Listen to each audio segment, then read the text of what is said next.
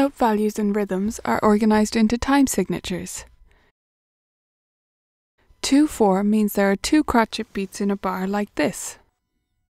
1, 2, 1, 2, 1, 2, 1, 2.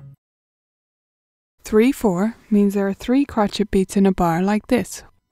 1, 2, 3, 1, 2, 3, 1, 2, 3.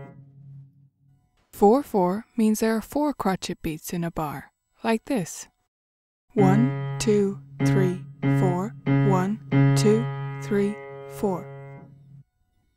To draw these on the staff, the top number needs to sit in the top two spaces and the bottom number in the bottom two spaces.